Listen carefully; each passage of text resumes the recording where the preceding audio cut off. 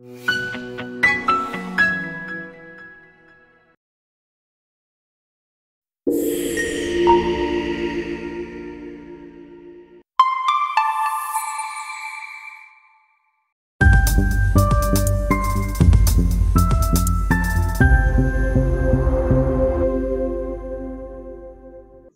and gentlemen, dear people, welcome at the University of Amsterdam. Welcome in the PC Hoofdhuis. Welcome at the fourth biannual conference of CARP, the Research Lab for Character Assassination and Reputation Politics. I'm very glad that you can all be here and also a hearty welcome to everyone whom I can't see but who will be joining us from cyberspace. So as many of you already know, we have been organizing these conferences every two years since 2017. Some of you have indeed already attended previous conferences. And the idea is to bring scholars from different fields together, put them all into one room, an actual room or a virtual room, and then hope that they start talking to each other. Because what we noticed when we started our work on character assassination is that there's actually many people in different fields working on this, but they speak in different academic languages, using different terms, looking at different things, and often not really talking to each other, even though it would probably be quite beneficial if they did so. So we have uh, rhetoricians working on ad hominem, we've got um, historians working on historical case studies, we've got political scientists working on so-called negative campaigning, and all of these things overlap in a sense. And we think it's very interesting and fruitful to bring people together and let them exchange ideas about it. So that's what these conferences are all about, to forge networks, to bring people together. We also aim to be a very cross-cultural network. Um, we want to bring together people from very different cultural backgrounds, different countries. We have speakers from many different countries at this conference, uh, many different continents, even all with different backgrounds and different experiences. Now, it's our habit to always combine the topic character assassination with something else to give the conference a certain focus. In this case, we are collaborating with the Illiberalism Studies program, and the topic of the conference, as you all know, is character assassination, illiberalism, and the erosion of civic rights. My name is Martijn Icks. Many of you have corresponded me with me over the past few months, uh, but I haven't been doing all of this alone, even though it was probably usually my name that turned up at the end of emails. But as you can see, there's a lot of people involved in organizing all of this. Um, so first and foremost, Edwina Hagen uh, from VU University, who's been involved in this project from the start, and my UvA colleague Alessandro Nai, who unfortunately can't be with us physically because he is in Japan, which I think is an excellent excuse. Nevertheless, he's also been very engaged in organizing all of this. Uh, he came up with the QR codes, for instance. Yeah. We have, uh, as you know, several keynote speakers lined up. Tomorrow we have uh, Marlène Laruelle, who is the head of the Illiberalism Studies program. We have uh, an evening event at Spui 25 with Simon Burrows and Marisa Linton. And then we have a special guest of honor, Mr. Pavel Palazhchenko, whom we'll be hearing more of and about in a minute. So we're very grateful that all of you could be here and join us in this conference. I should also mention my CARP colleagues. Perhaps I should start with Sergei Samoylenko, who unfortunately, due to personal circumstances, also could not be present here in Amsterdam, but who has been instrumental in setting all of this up and forging the connection between character assassination and illiberalism. Uh, Eric Shiraev, from George Mason University and Jennifer Keohane from the University of Baltimore, who uh, have been working on character assassination for years.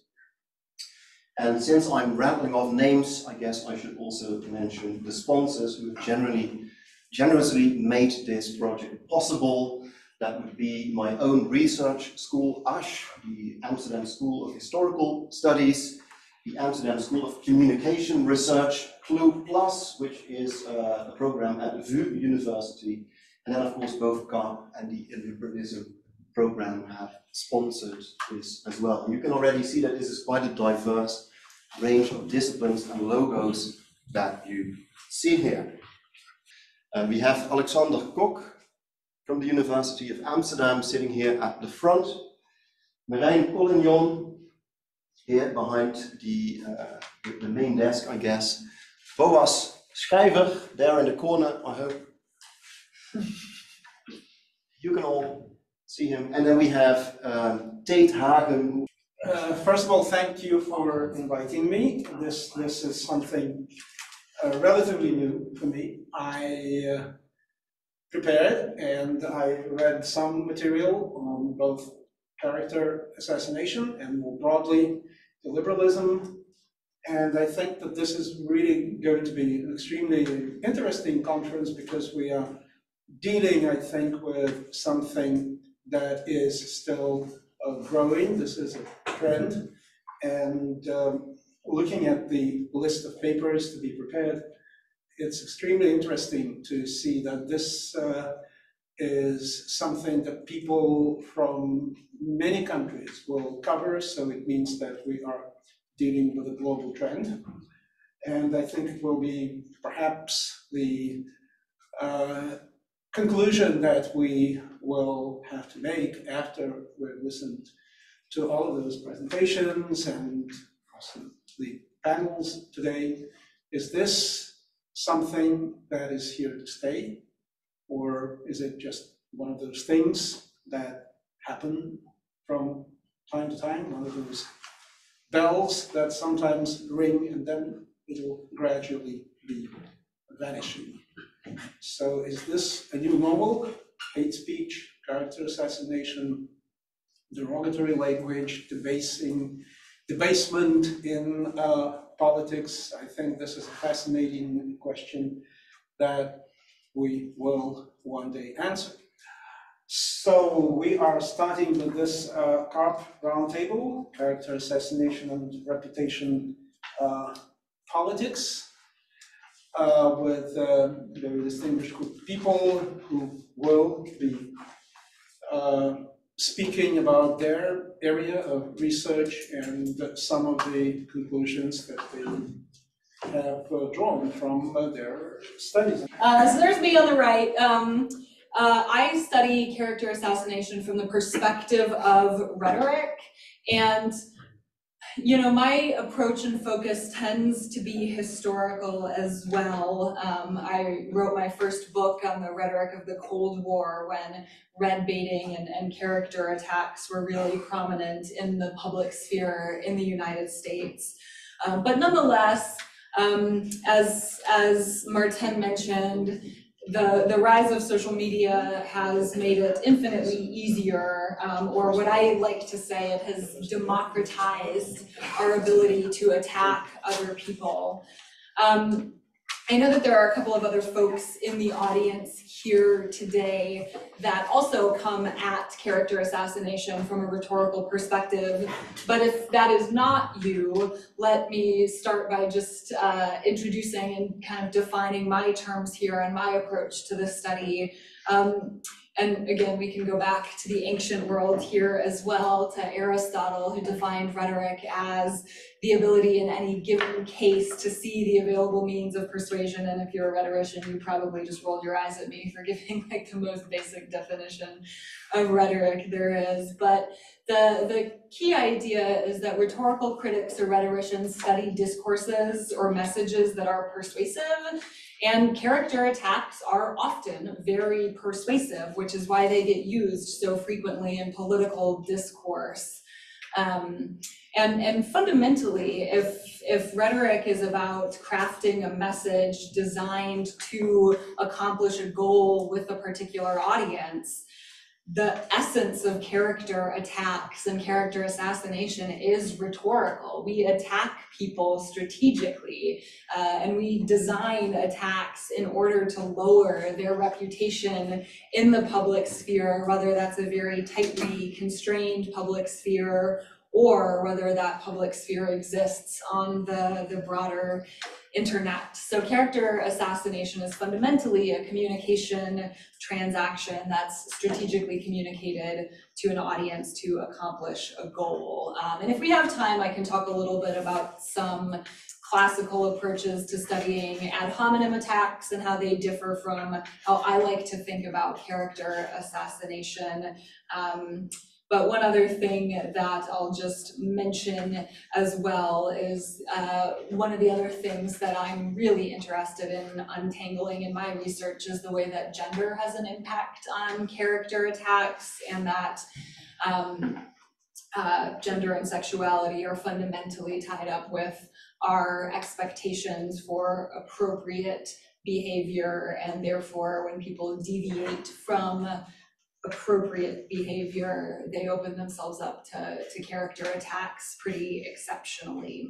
Um, so yes, old normal, around for a while, new methods and new tricks make it easier to attack people. But fundamentally, you know, we're dealing with strategic messages and the tools at our disposal to craft those messages have certainly changed, but the power that they have to harm someone uh, is, if not constant, something that's been around for a very long time. Yeah, well, very interesting. In, in, in passing, let me just say, you mentioned the gender, and it's interesting that uh, uh, in the middle stage of perestroika, when the attacks on perestroika started, they started with the attacks on Raisa Gorbachev, uh, which was, I think, something definitely had a lot to do with character assassination because it was used strategically and because it contained lies and untruths. So it, it was uh, an interesting, a, a, dramatic and unpleasant episode, but an interesting episode for uh, the study of this uh, uh whole phenomenon. Well, uh, I see that, you know, in terms of uh, gender representation, everything is fine here today. um, no, I, I, I mean it because uh, in, in my country, for example, in political science, uh, in arms control studies, which is what I'm doing, uh, the, there's been some improvement in this area, but, but not much, not, not a lot. Lena, would you like to maybe pick up on some of the themes? on the uh. Yeah, well, not necessarily, Oh, no, some of the themes about strategic Yeah. use of uh, Uh, well, uh, character there's assassination. so, so like much, that. uh, the gender, I think that's our next conference. Yeah, okay. Let's do it. We'll leave it there. But, um, yeah, uh, the, the, you were talking about, well, we associate it with the heated political climate of, uh, of our, our time. Um, and as a historian, I, uh, I'm not so sure, of course, and I think one of the things that historians can contribute to the study of character assassination is the fact that we are good at or specialized in, in source critique. And, and we, we know that um, the, uh, the every new communication te technology uh, uh, brings new advantages uh, in, so um, and we specialize in primary sourcing the different kinds like pamphlets and, and speeches and sermons and we, we know all the differences and all of the implications and the impact, the different impact of all of those uh, forms of, of sources. So um, that's, I think that uh, historians are uh, of value to, to the study of uh, character assessment the long-term perspective, and also the fact that we are very much aware of the changing meaning of concepts like character, interpretation, and character, uh, like uh, character was very important uh, concept in the late 18th century. Uh, it, uh, the character um, refer to the moral dimension of uh, traits of, of a person. Um, what I like especially about uh, working on character assassination is that it's a sort of it works as a mirror of uh, what what kind of traits were popular and well accepted or were rejected at, at a certain uh, time. So that's that's one of the ways, and it's a gateway to to um, the, the, a, political culture of a certain time. So it's it's works like a perfect lens, and it's multidisciplinary as well.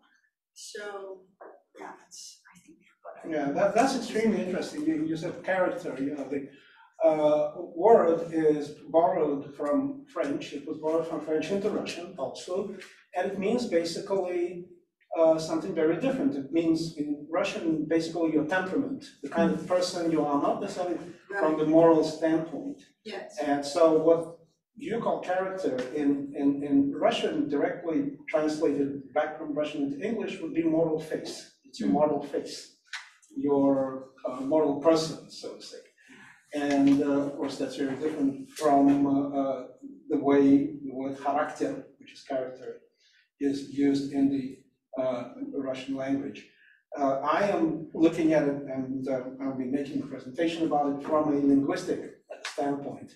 So I'm relatively new to it, and the person who introduced me to the whole area, character assassination, liberalism, is Eric Shiraev, and uh, I'd like to give him the floor. Well, thank you, thank you, Paolo.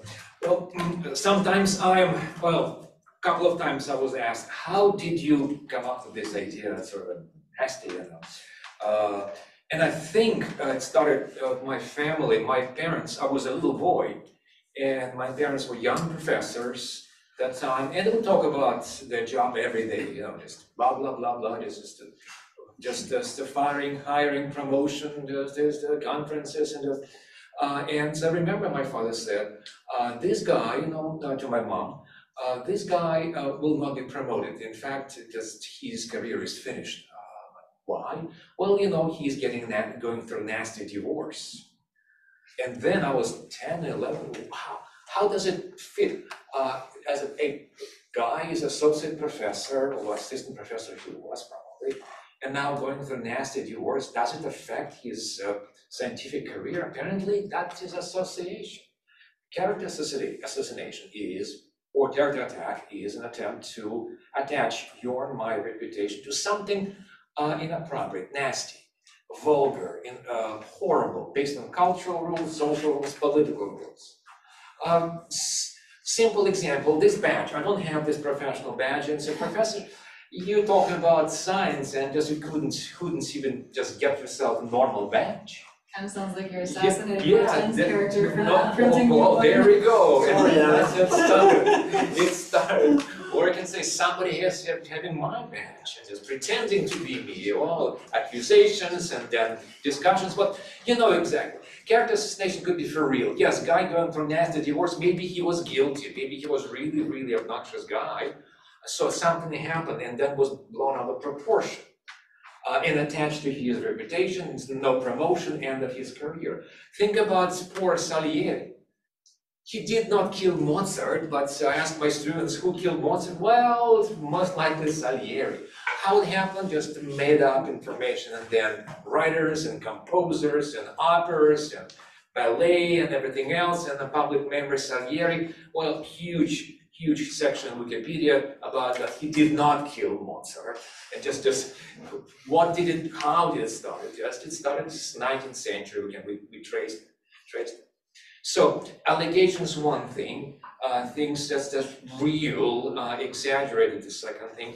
But it's simple, simple, uh, simple slander, simple said, you're a fool, you're an idiot. It's already uh, enough to be qualified as character attack and could be absolutely nothing if you have a thick skin and say, I don't care, I'm a good person, I'm not a fool. But there are other circumstances, and I hope we'll talk about them today and also during conference, uh, in which the simple, simple term, you're an idiot, can, can be meaningful and sometimes can start wars. Yeah, well, it's an amazingly uh, broad subject, and each of you has, uh, I think, added a little bit to our understanding of what it's all about.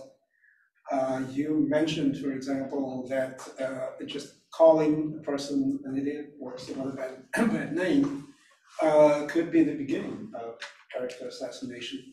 And it is, as, as a person who does American studies, it reminded me of a relatively recent uh, development in the US when uh, candidate Trump at that time, or yeah, candidate Trump, uh, said a few bad derogatory things about Senator McCain. And he definitely meant uh, that this should be the beginning of a kind of avalanche. And indeed, you know, my own discussions with um, some uh, Republican friends in the US showed that, that indeed their opinion of McCain was to some extent undermined. They, they continued to be Republicans, moderate Republicans, most of them. Uh, but indeed, they started to think differently just because Trump said, well, a person should not be a prisoner of war. you know. Yeah, He it was should not coward, be- it was coward, yeah. He- he- that's, that's cowardly, yeah, and the word was coward. right. So, uh, I think that, um, I'll allow myself to ask a couple of questions and then we'll turn it over to you. Uh, and, and the first question is, I've been to quite a few conferences, mostly in my area, linguistics, uh, some other arms control conferences, et cetera. And we always want uh, to have some kind of takeaway from each conference. So you've been studying this for several years, you've had some previous conferences. So what are some of the takeaways that you think were brought by those conferences? What are the, the achievements, I would say, that you can mention uh, that are the result of the studies, the conferences in which been engaged? Uh, Jennifer, you, I mean, there is one really concrete way to point to the fruit of the discussions that we've been having with some of you all for upwards of eight years now.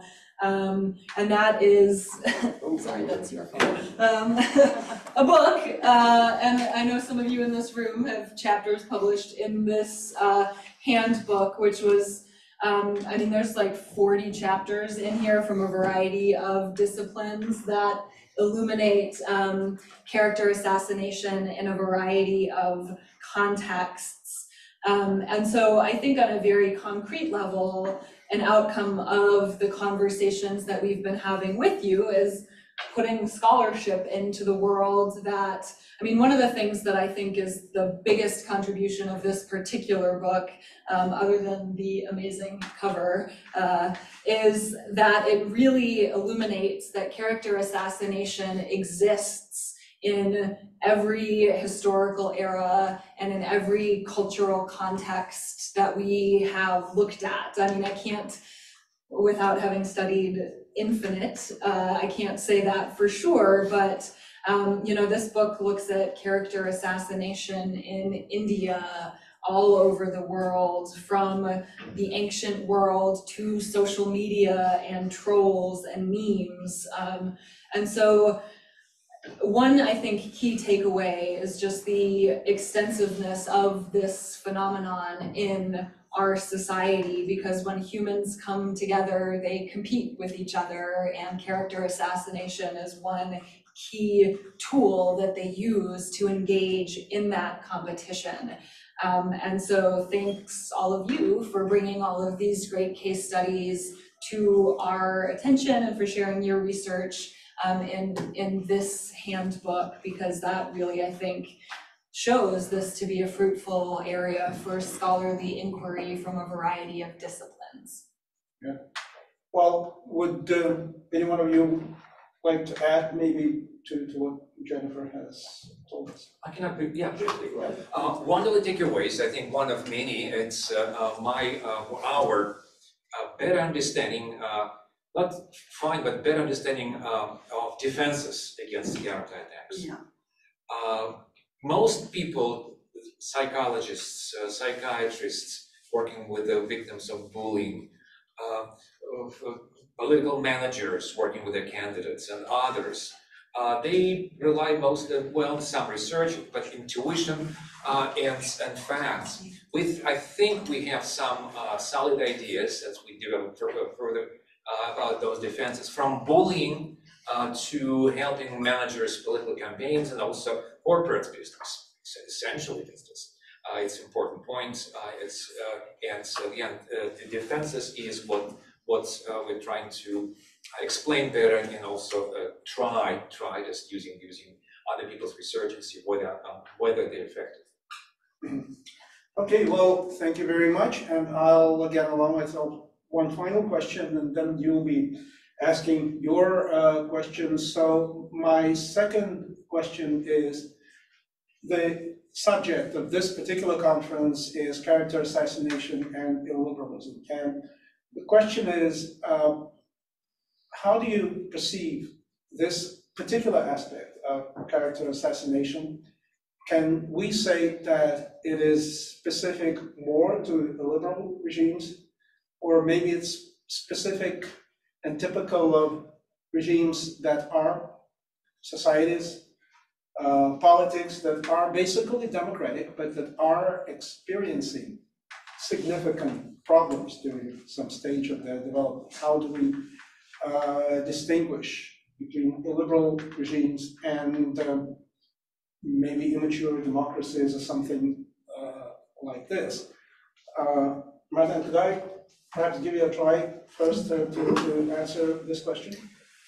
Yes, um, of course, I'm not an expert in illiberalism, and I think one of the things we'll probably be talking about during these days is what, what exactly we mean when we use that word. Marlène Laruelle has written a very enlightening paper that we sent round that helps define what illiberalism is, and in her terms, it's, it's a reaction of discontent against liberalism. Uh, and I think indeed in democratic societies, you can already have many character attacks.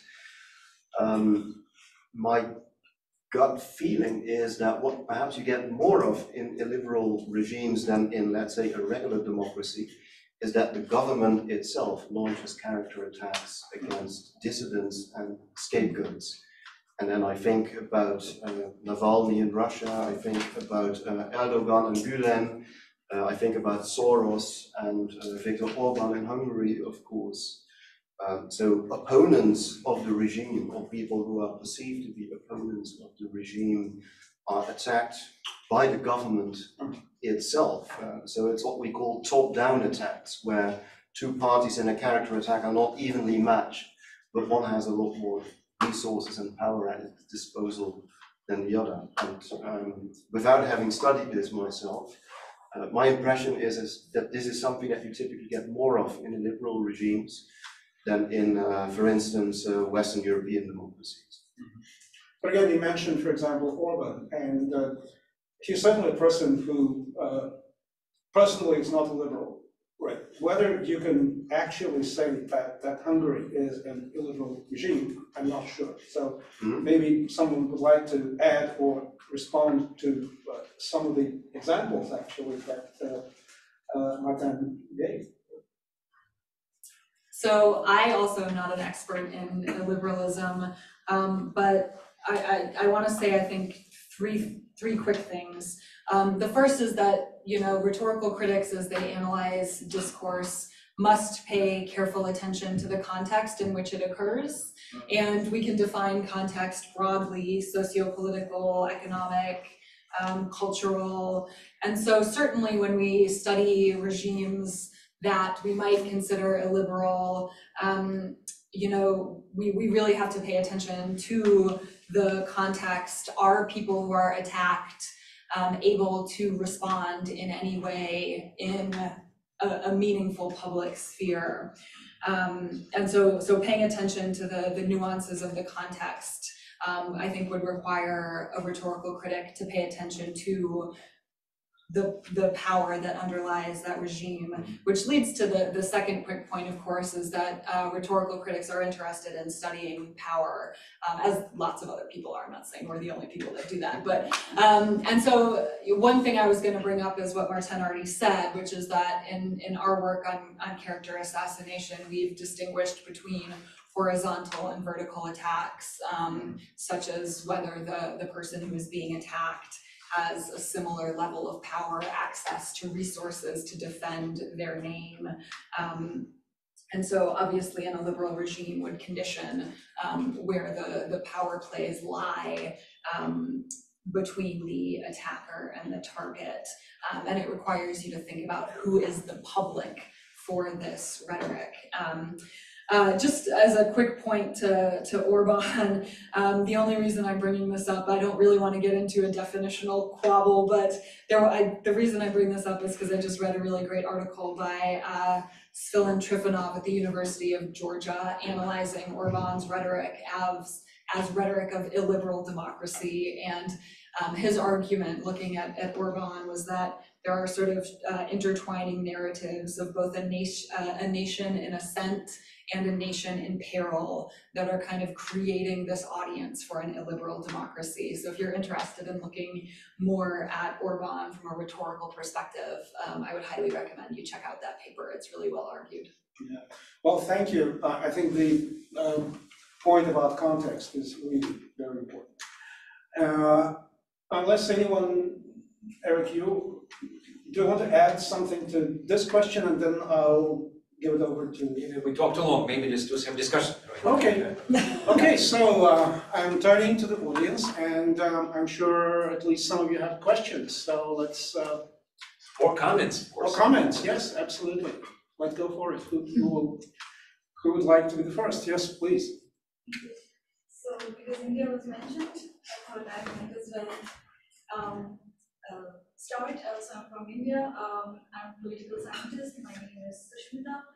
Um, and uh, I will work on populism in India, looking at the long-term historical trajectory of how populism has changed over time with respect to the coming of democracy in India, so from colonial to post-colonial times, uh, with the coming of media and uh, uh, the changing nature of nationalism.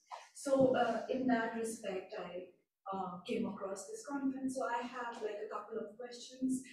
First, regarding character assassination um, that Eric and Jennifer were talking about, and the words that you guys used were nasty, fool, idiot, right? Uh, for slander. And I was wondering, because what's happening in India, and I'm sure it's happening in other parts of the world also with regard to gender specifically, where character assassination is not negative words, but very positive attributions. This woman is too hardworking, you know? Um, so similarly in India, you know, a very thing, uh, words that would attribute like a positive are used in a negative manner, right? And I was wondering if you take that kind of character assassination into account, and how would you fit that in terms of rhetoric and character assassination? Uh, so that's my question to both Eric and Jennifer. And my uh, other question to Edwina is, um, you talked about changing meaning of concepts, right? Uh, and I was wondering, yeah, our conceptual history does a great job in that, um, as conceptual historians. I was wondering, how much does a concept like character assassination change so much that we cannot really go back to the roots anymore? in the sense it has changed so much, you know, with the coming of social media today, what character assassination is today is, yes, there are some uh, basic uh, similarities that we can outline, but it has changed so much over time, you know, that they are not the same monsters, they are two different monsters. So I was wondering if you can say how a historian thinks about this kind of completely changed concept with having some roots to it. So the, yeah, ideas of translation and things like that. Okay, so two questions and um, uh, whoever would like to start, please. I, I can start, Yeah, I fully agree with you. It changed a lot. We have a conceptual uh, historian, uh, but um, uh, no, it's um, it's true that it's well. Um, uh, I did uh, some case studies on, on the 18th century, and um, what struck me was that I mean, um, uh, character, a man of character in the 18th century is a man of virtue. And um, so, and it goes back to the uh, classical Republican uh, ideals. And uh, so when they were attacking uh, politicians, um, it was more about the, uh, the, that the fact, the fact that they weren't living up to the standards they uh, were setting them for themselves. So, um, but it wasn't really, nowadays we think, oh, it's, uh, the attack is meant to attack the person behind the public face. Um, but it was in those days, that's my impression at least. So I was wondering, character assassination doesn't really exist in the 18th century because it's about uh, attacking a public uh, figure and a public, uh, it's a it's a front that you only uh, attack. Uh, on the other hand, I think there is, uh, if you look at the 18th century, there is um, a similarity that we still want our politicians to live up to their own uh, ideals, to, to, to what they, what they say and what they do has to be the same. Integrity is still a virtue. So there are similar traits still that we still value and that they were valued at the time. So you have to really um, uh, work in a very detailed way and analyze it very carefully, and then you will find so um, similarities and differences uh, over time. So it's yes, it did change an awful lot, but not not entirely. I mean, it's not completely different, but yeah, it's a still. Yeah, thank you, Edwina, Martijn, yeah. Yeah, if I can add a bit to that before I give the floor to Eric and, and Jenny. Uh, you're perfectly right, of course. Um, this is something we're always struggling with, and it's not just true in case of history, but also when you are comparing different cultures. We already heard that the word character has a very different meaning in Russia. So the, the challenge that we face, but what we also at the same time think is very important, is to try and come up with a language that allows us to speak to each other from different countries, from different disciplines, from different historical perspectives, and yet still look at the things that are similar as well. So what we try to do is distinguish between what we call some central features of character assassination, which, uh, for instance, include the so-called five pillars. There is always an attacking party, there's always a target, there's always an intended audience, there's always a medium, and it always takes place in a certain context. So those five things, as variable as each of those may be, uh, give you a, a, sort of tool that you can use for different periods. And then on the other hand, you have the what we call the peripheral features, which are uh, culture specific, uh, technology specific, etc., uh, etc. Et and they change from one society to the next. So it has changed, but not changed totally. not totally. Um, Eric, um, the, the first question I, I, I think was um, again, this is, this is something that you perhaps might Yeah, yeah. challenge. Uh, yeah, certainly, it's not necessarily about slander or bad words uh, or, or blaming somebody. Uh, an example maybe will be in unison with the uh, example you gave us uh, uh, from India. Uh, so elections in, in Moldova a couple of years ago, I was somehow was was participating and observing.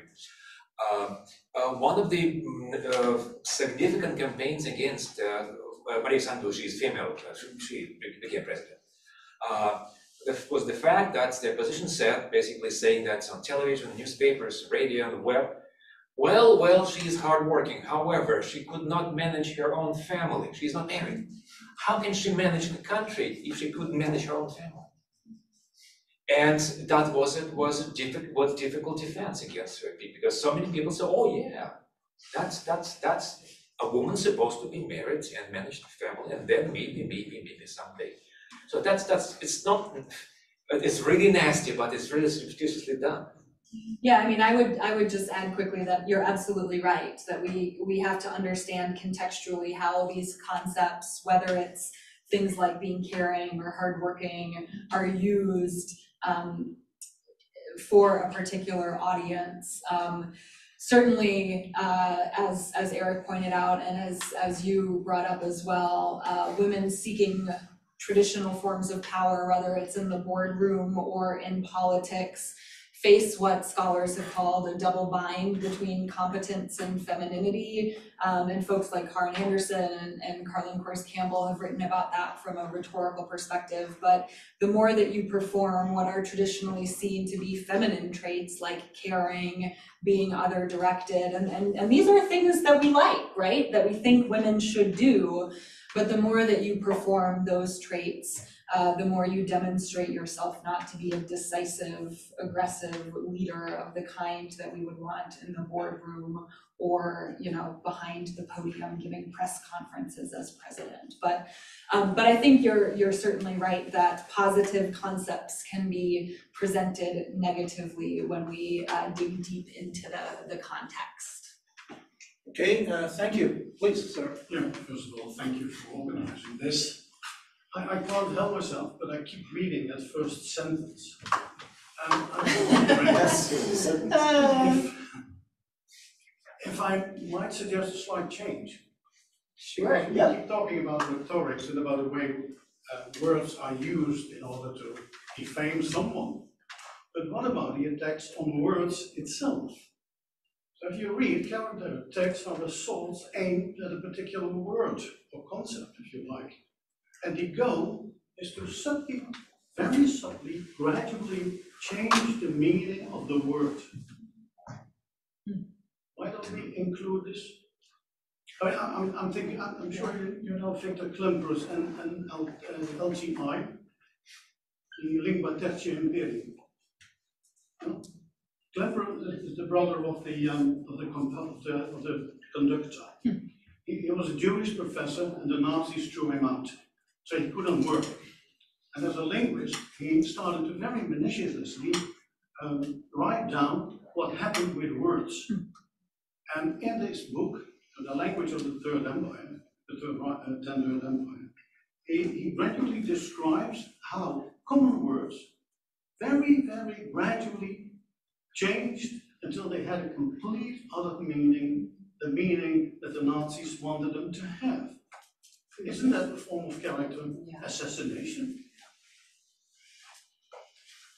Absolutely. Um, I'm reminded um, in, in a Dutch context of the, wo- the word uh, deugen, uh, but perhaps a bleeding heart. Okay, in English, yeah, yeah. Being a bleed, which used to be, at least in the Dutch context, I don't know about bleeding heart, but in the Dutch context, it used to be a positive thing. You want to be a good person, that's what it meant. But by now, it's become basically an accusation of hypocrisy. uh, Ostentatiously displaying Yes. what a virtuous person you are, then you are a, a deuger. But it's, the assumption is that this is insincere. That's not what the word originally meant. So that word has been undermined, as it were. And people who try to be virtuous and display virtue, uh, this can now be subtly questioned by just putting the tag uh, deuger, you know, een deugdmens on someone. But in, in US, basically, yes, it's a, sl- well, it's a regulatory term referring to Democrats. Dinosaurs, Republicans, and bleeding hearts, the Democrats, both this. So just don't use it. We are, we are told, we are told. Connotation those. Um, I mean, I think, I, I, certainly, we've already talked about the way that concepts shift in meaning contextually and that historians and, and all sorts of critics and analysts need to pay attention to the shifting meaning. Um, and I think it's a, a great point that as words shift meaning, they can be, become tools for character assassination in ways that they weren't before. Um, that said, I, I, I wouldn't say that the word itself has been character assassinated because the word doesn't have a character, right? Words don't have character, they have meanings, but those aren't the same thing. Okay, um, I'll be talking a little bit about this in my presentation, so you might find it interesting. But thank you for mentioning Klemper, his book uh, has been translated into Russian, uh, people know him. And, uh, you know, as I've been thinking about how best to translate into uh, Russian character assassination, you know, I came up with the equivalent of moral destruction. And this is something like uh, conceptual destruction, the destruction of a concept, the destruction of a word.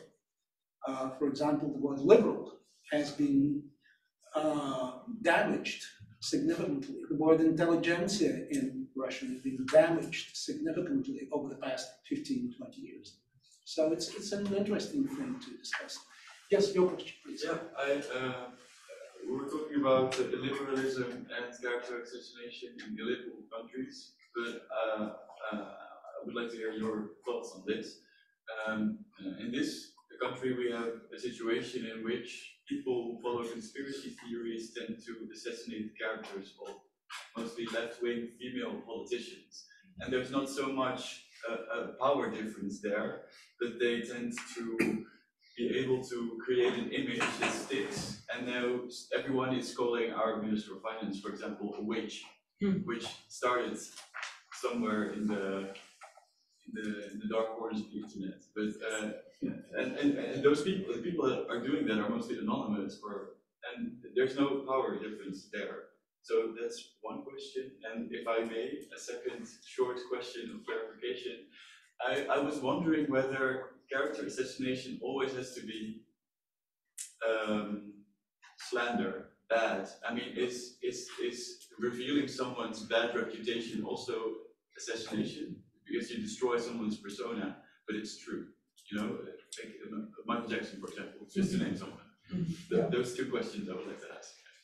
I could say something about the second Go one, for and you can, uh, you- you can go for the other one. Um, so, uh, we use the word character assassination, and it has one big advantage and one big disadvantage. And uh, the, the advantage and the disadvantage are that this is a, a word that is colloquially used by people in everyday speech.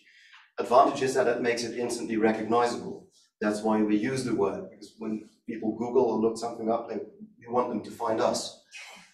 So there's a very good reason for doing so. The- disadvantage is that people also have some assumptions when they hear this word, which is not necessarily the way we are using it. So contrary to the everyday use of the word character assassination, uh, we try to look at it from a neutral academic perspective. That's perhaps a very important point to make. So we're not saying this is a good attack or this is a bad attack, oh, this one was justified, so we'll not call it character assassination, this one's unjustified, because then you constantly have to take a political stance on every issue and, and determine what's justified, what you find unjustified. So rather than getting embroiled in that, what we look uh, at is a form of, as Jenny says, strategic communication, where the very basic fact is that one person or entity tries to damage the reputation or the image of another.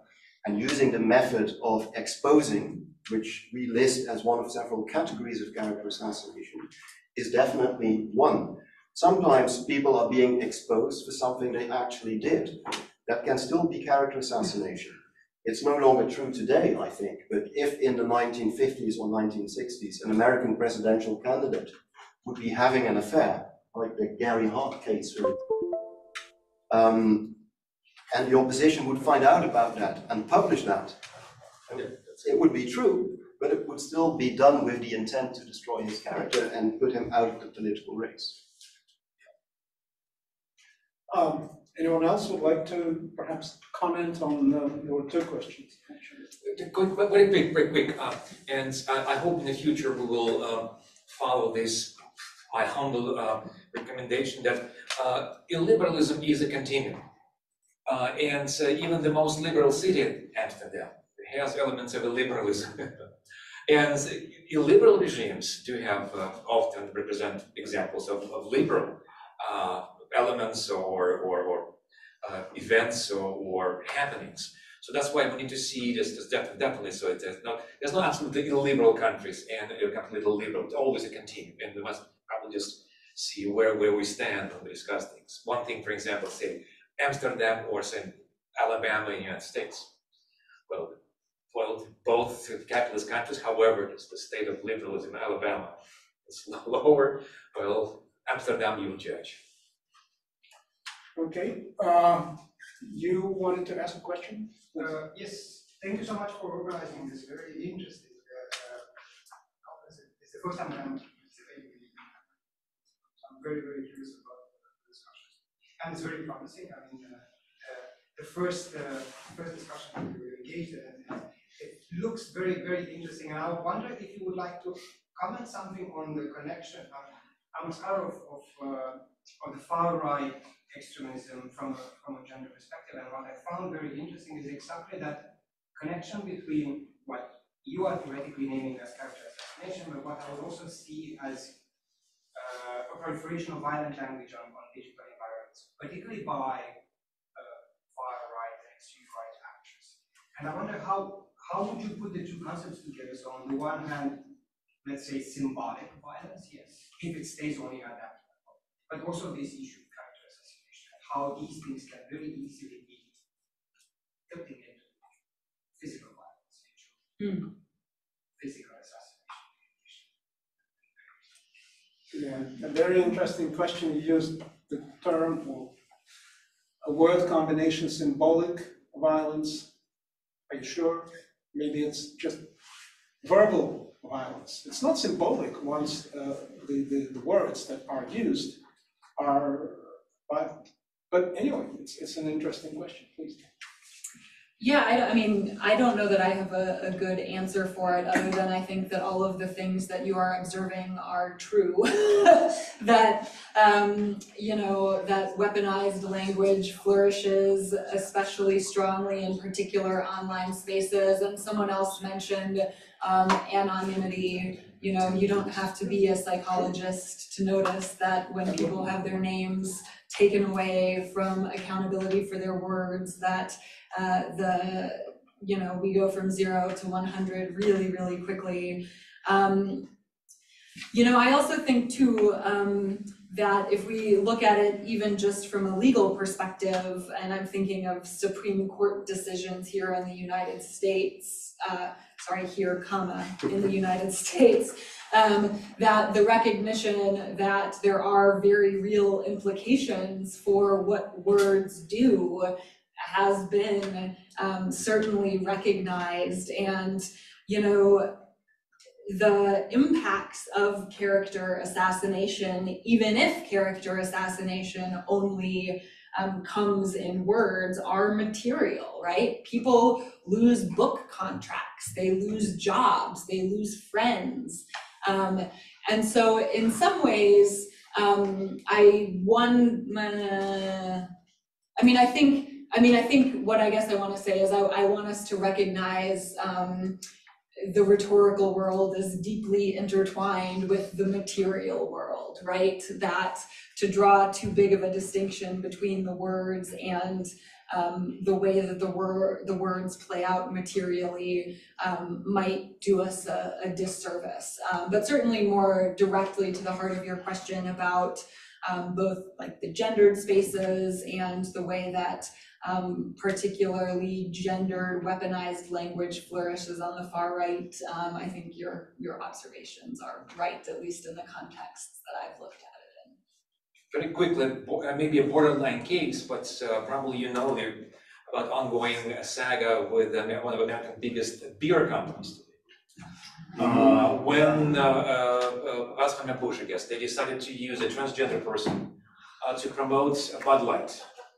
Uh, it's uh, Bud Light is the cheapest uh, brand of beer. You just sold billions of, of cans uh, for every year.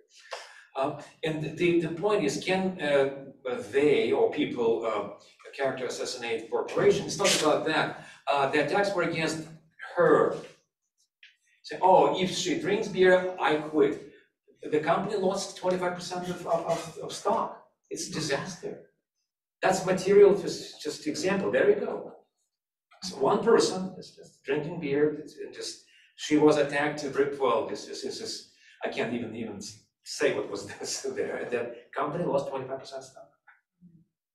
Yeah, it's interesting that the attack came not from the far right, but just from the Yeah, right, yeah. you know, and, and it means that it evokes uh, certain feelings on the part of people who are not extremists. So uh, the company probably, you know, in the particular context of the US, made a mistake, went too far too soon, perhaps. I mean, it's, it's, it's interesting, you know, my impression also is that there is more rhetoric of this kind, not necessarily violent rhetoric, but right now on the right than on the left.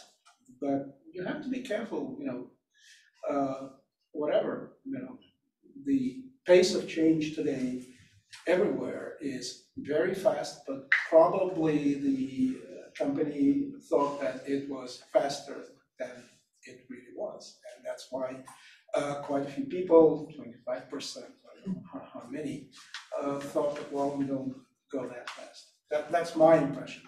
Well, uh, before we wrap it up, I, I do want to give another person, one more person, a chance. And it's difficult. Well, maybe I'll ask you to ask the last question and you will reserve for my presentation, okay? The others who will not give, give a chance. I'm- sorry, but, you know, we are time limited.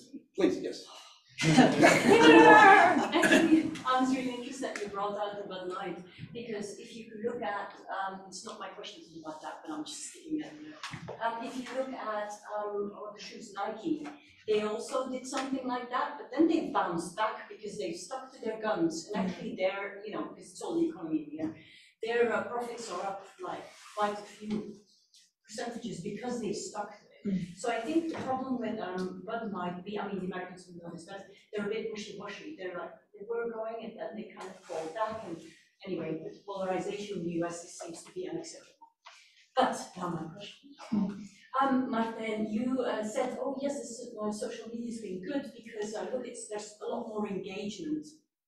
And of course, because I do social media, I had to uh, jump on that because, you know, of course, I'm going to suggest, well, what are your thoughts on this? Should we critically um, consider what the, con- uh, what the real contribution of social media is to character assassination and to liberalism? Because if we start to look at the quality of engagement that we have online, we actually, you know, can worryingly start to see that it's not just, for example, the far right who has no, you know, where there's no competition of ideas, but also well-meant initiatives like for social justice, uh, where we see um, cancel culture, where everyone jumps down the throat of someone who's been racist on video, or even, you know, um, people who are, you know, uh, making these kinds of symbolic gestures like cutting off hair for the women in Iran and so forth and so. Um, so what is liberal about it is that actually in cancel culture, for example, everyone's saying, oh, we can't have that. They never say what that is, especially. It's just a big outpouring of, Pamela, this really uh, picks onto what you said, of showing your own morality. So the moral face, you mentioned this.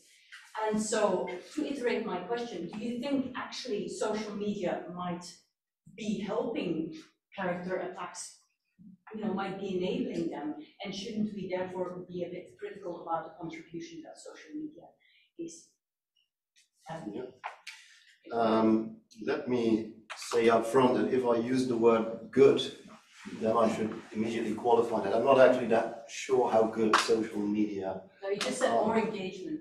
but there is more engagement, yeah, I do, I do stand by that.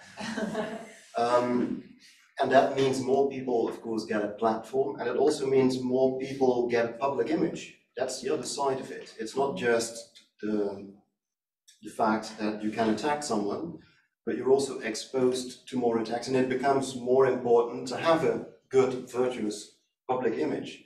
I think the trend I mentioned earlier about the, the, the Dutch word deugen, uh, having this evolution, and, and now often meaning being basically being a poseur who poses virtue, has a lot to do with that as well, because we, we think in terms of images, creating images, and then we assume that it's all just image making and that there's not nothing real behind it, and that if I uh, profile myself as a virtuous person on Twitter, uh, I'm, I'm just posing. I'm not actually being virtuous. I'm just saying that I am.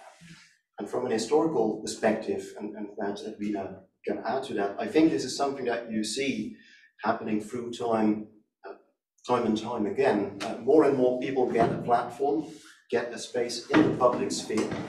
Of course, that happened with the introduction of the internet.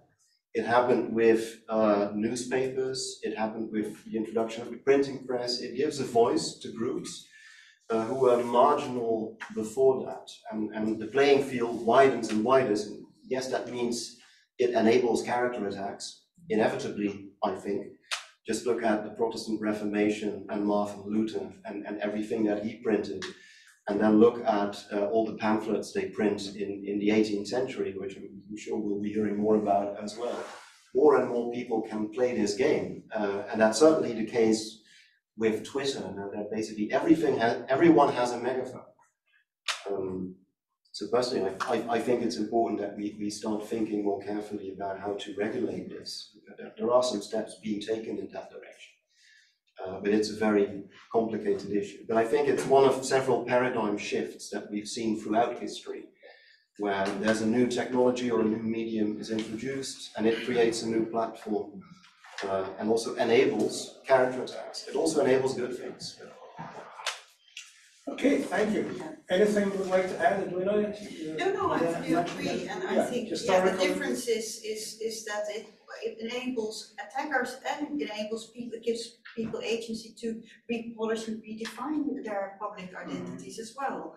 So, yeah, it works both ways, I think, I don't, I don't think in terms of positive or negative, or, I think, but there is, yeah, there, people nowadays have more uh, options to, uh, to, uh, uh, profile themselves in a certain way than uh, in, in, uh, in early times.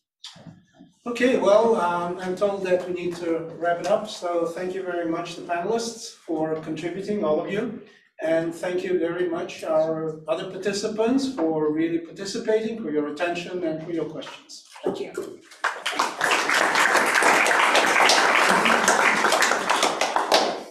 Well, there are people in the world who witness history and people who make history, and there are people who both witness, make, and more, analyze, describe, and interpret history.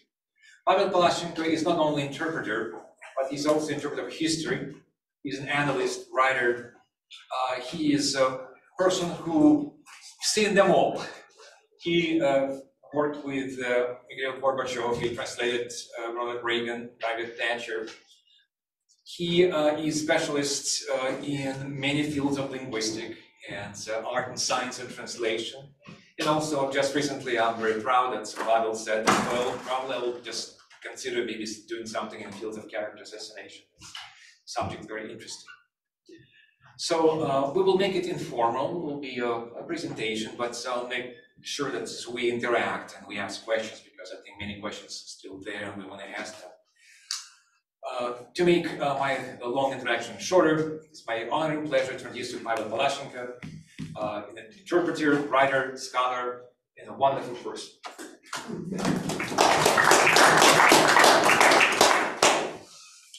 So we'll go to the first slide, and uh, that's the title of my presentation. Uh, we'll ju- we'll just click. Yeah, just. Is this one? No, It's the beneath button. the liberal politics, that's, that's the first one. Yeah, so uh, the title of my presentation just shows you that I come to this from mostly a linguistic perspective, and um, I think that, that would be my contribution. Uh, Next slide. Uh, The next slide is uh, something that I think I learned as I was preparing for this presentation, and this is not linguistic, this is more like social political. And I think that broken taboos is something that we have seen in many, many countries, including some established democracies. Verbal aggression, verbal violence, it's uh, to pick up something from the previous panel, it's not symbolic, it's, it's real. And it can go from verbal to non-verbal. The coarsening of political discourse, humiliating rhetoric, contemptuous labels, nicknames, all of this is used strategically, as was mentioned, indeed uh, emphasized in the previous panel, and it's used strategically because it works.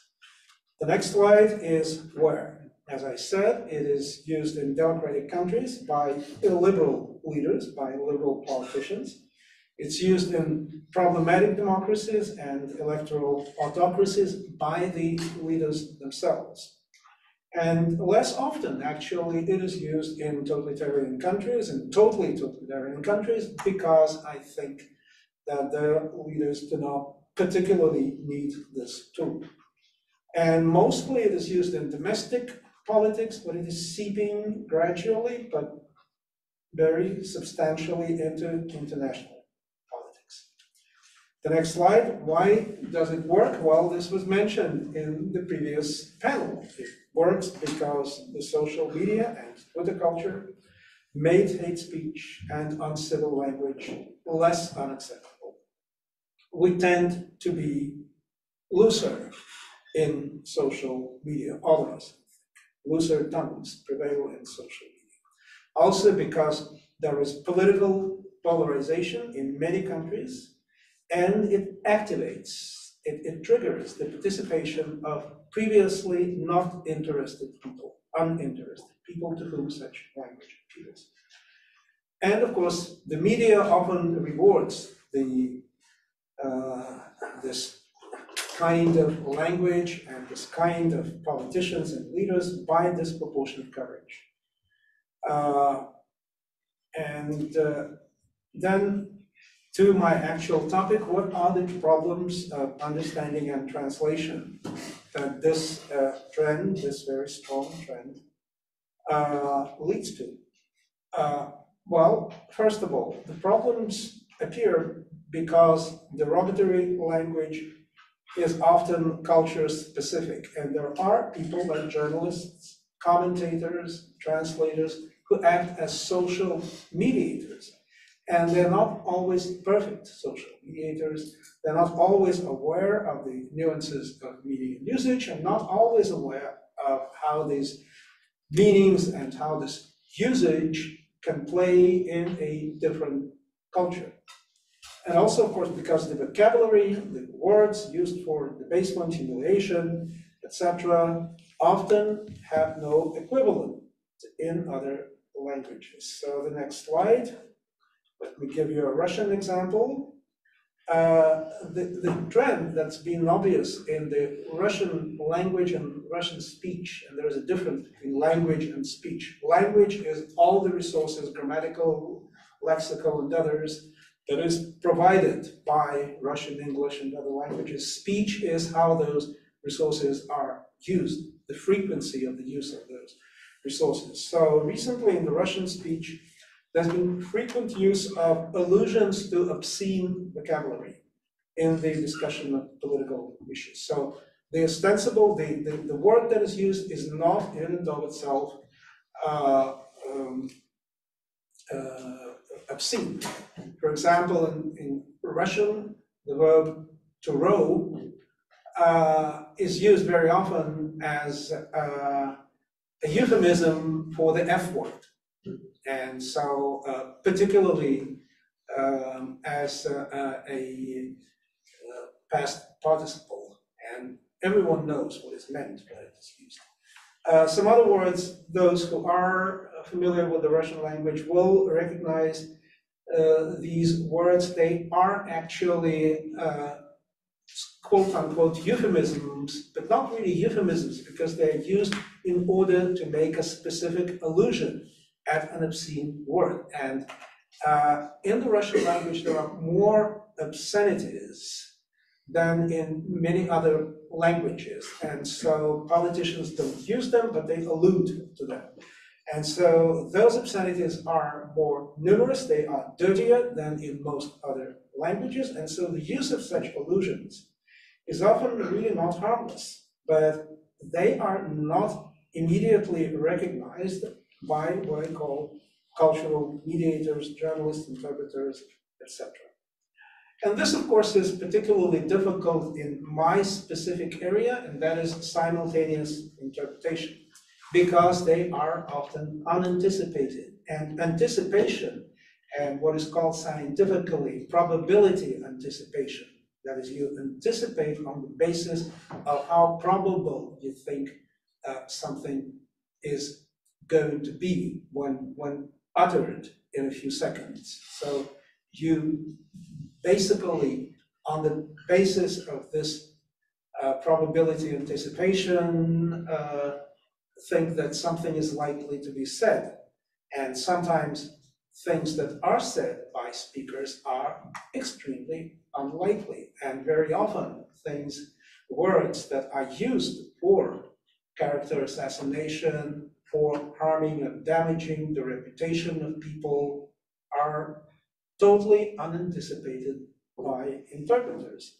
Well, this is an example from 2002 when Vladimir Putin was, uh, uh, I, I would say, a, a beginner president of Russia, but he definitely uh, used many of the uh, tricks and uh, uh, methods that one might uh, refer to as belonging to the sphere of character assassination. Uh, I will not quote it because you see it on uh, uh, the screen.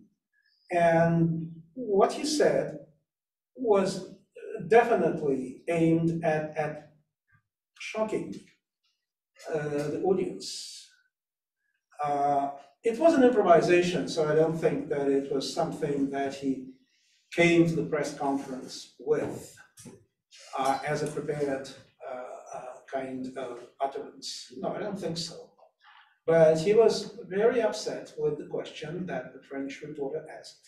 And uh, he said uh, something that was totally unanticipated, totally unanticipated by the interpreter. And uh, um, as uh, reporters uh, uh, from Kommersant and uh, other Western news agency and some, some Western news agency saw, this was probably not understood by most of the audience who were not Russian speakers and who were not familiar with the Russian language. As the Associated Press reported, the exact meaning of Putin's words was not immediately understood due to the intermittent translation. Well, intermittent translation, I think that's a, very charitable uh, uh, explanation of what actually happened. Uh, the interpreter was totally lost. He lost the speaker. And it was only the next day that the Associated Press uh, provided uh, the translation from the.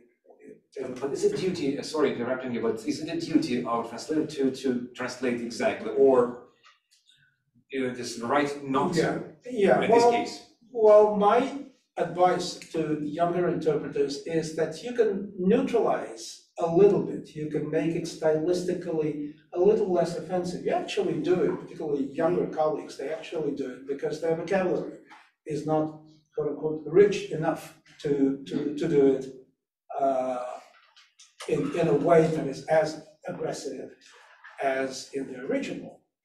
Um, but you should never, you, you can neutralize, you can soften it a little bit, particularly if you don't have um, the exact uh, words in your repertoire, so to say. But you should never make it more aggressive. You should never exaggerate even more uh, and make it even more aggressive because then, uh, uh, so I, I, I, I do think that in this case, it was not, it, it's the duty of the interpreter to uh, interpret the way it was said, both from the point of view of substance and from the point of view of form. But you can sometimes sacrifice some of the form, make it a little less uh, aggressive, uh, but certainly not more uh, aggressive. The most important duty of an interpreter is definitely to convey the substance and to convey at least some of the style. Um, well, um, uh, then, of course, there is also something that uh, uh, cultural mediators do not always capture, and that is the nuance in mislabeling. For example, in the United States, the uh, Republicans have recently started to say, instead of China or the Chinese People's Republic, which is the official name of the country, they say the Chinese Communist Party. There is an example that you see on the screen. And uh, this is actually derogatory, it is. Uh, but very often, uh, this is missed by journalists, by uh, cultural uh, mediators, by interpreters. I think it should be, definitely should be reflected in the uh, translation. Very often they just say China, and that is not correct. You know, you should be attentive to that kind of things. And of course, always, uh, also the Republican practice calling the Democratic Party the Democrat Party. Why do they do that? Well, because "crat" is a, uh word form that is often used in derogatory words, such as plutocrat, bureaucrat. So they say the Democrat Party.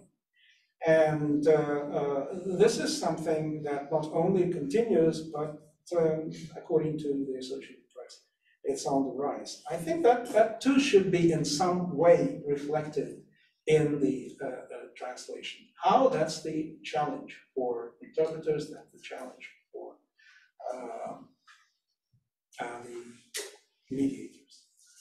Uh, the word liberal, uh, the word progressive, may be used and is used as derogatory words.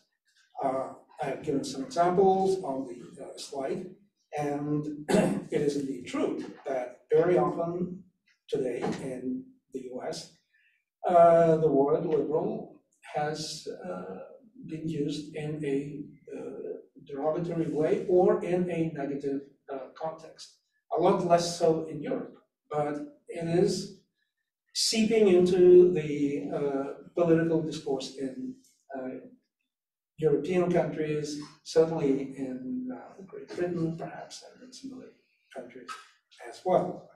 Uh, I uh, have given the example, the last example on this slide is from, uh, uh, I think, an interview by the former Attorney General under President uh, Trump, Attorney General Barr, and he said that the greatest threat to the country is the progressive agenda. Progressive agenda taken out of context, there is nothing derogatory uh, about this, but the way he uses it makes it uh, negative. So what do you do in, in uh, translation? It's, that's, that's or uh, in uh, discussing it, for example, in an article by a journalist or commentator. One possibility is to use, particularly that works quite well in Russian, to put it in inverted commas. Another possibility is to use the word so-called. But each time a perfectly normal word is used in a derogatory way, you have to be alert to that and you have to take it into account in interpretation or uh, translation. Uh, take the word liberal in Russian, it's, it's the same word, liberal. But historically, not just recently, after the uh, call failure of Russian reforms, this word has been used in our country mostly in a negative way. But historically, even before the uh, Russian Revolution in 1917, in the late imperial period, it was mostly used in a derogatory way. Both the political meaning of that word and uh, the uh, non-political meaning. For example, in one of uh, the Soviet dictionaries, a very good dictionary by Ozhegov, uh, that was the definition in, uh, that's, that's the third sentence, the definition of the word liberal. Not just, you know, necessarily, you know, in a Soviet uh, uh, dictionary, uh, you, you have to reflect the political ideology of the time. But even in the non-political uh, sense, you can see definition number two, excessive tolerance, leniency, or indulgence. And examples given by that dictionary are interesting. They include a rotten liberalism, a rotten liberalism in evaluating students' knowledge. I'm giving you uh, actually the uh, rough translation of the exact definition in that uh, uh, dictionary. And of course, today, in post-Soviet Russia, uh, there's been this uh, rather terrible word. I mean, uh, Martijn said we shouldn't evaluate, but I think it's a rather terrible word, the word liberasti. It's a conflation, uh, uh, exploiting the very widespread anti-gay attitudes in the Russian society.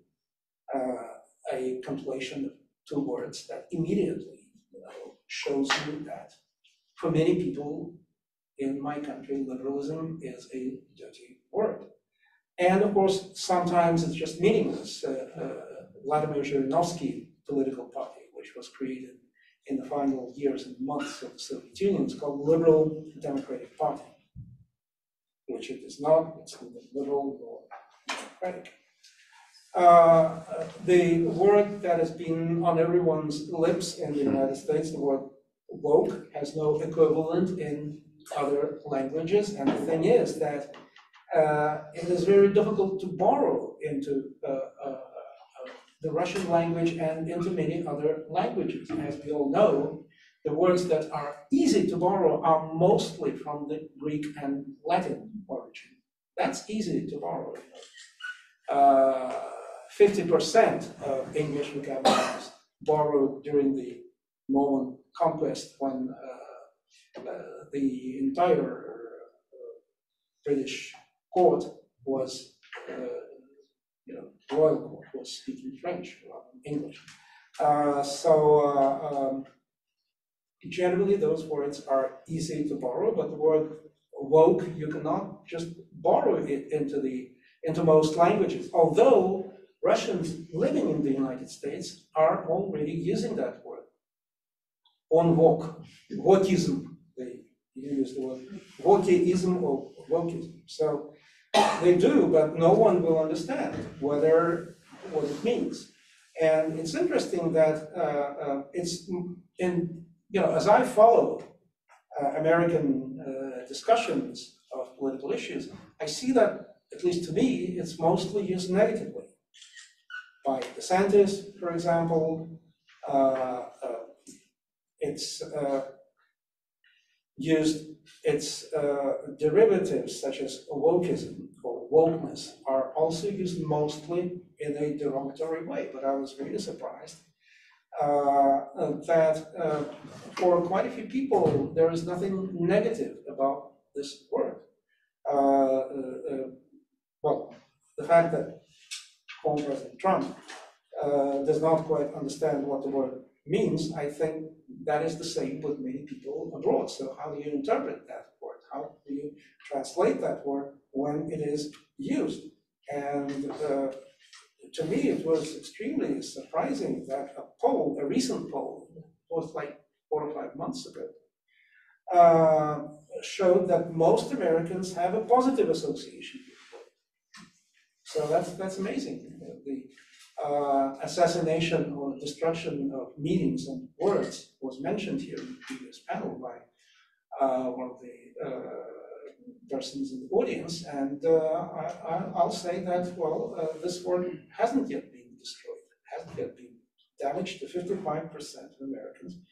Uh, it's a, a positive word, but of course, 36% think that it is a word that has definitely a derogatory connotation or uh, meaning. So what do we do when we translate that word? Translating politics is always uh, difficult. So when the word is used um, uh, in a negative way, my personal preference is not to borrow the word into the Russian language, even using inverted. If the word is used negatively, well, I recommend uh, using uh, a word such as leftist. In, in, in the Russian language, the word levak definitely has a derogatory uh, connotation. So when the word is used in a negative way, I would uh, uh, uh, recommend that this word at least might be used or considered. But, but this is difficult.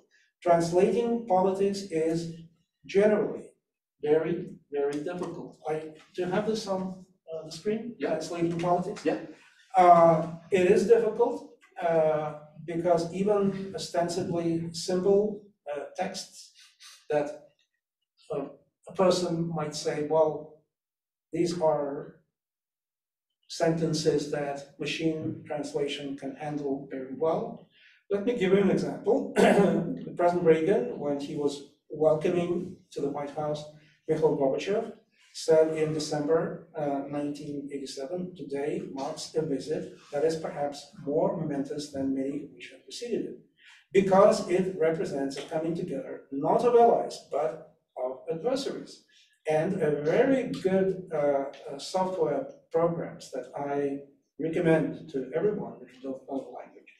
Uh, DeepL translates this is uh, translates it, it's it's a relatively good translation. I would say it's a good translation. But the last word, adversaries, is translated by a Russian word that means enemy. And adversary in certain contexts can be enemy. Yes, indeed. In certain military contexts, yes. But the core meaning of the word uh, adversary is just, next slide, is just the other side. That is all, the opponent, the rival, the competitor. These words are, in a way, synonyms, but they are different. And their semantic spread in English and in Russian are quite different. So the word, and, and my American colleagues had to grapple with that word uh, when they were preparing the uh, translation of President Reagan's remarks. And uh, uh, they had the text. It was not an improvisation, it was a prepared text. Uh, Reagan,